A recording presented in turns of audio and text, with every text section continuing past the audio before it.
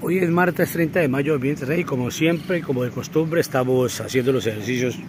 desde la Organización Venezuela Comuna 20. En cualquier parque, en cualquier país del mundo encuentra estas máquinas, solamente es tomar la decisión de hacer los ejercicios a estas horas del mediodía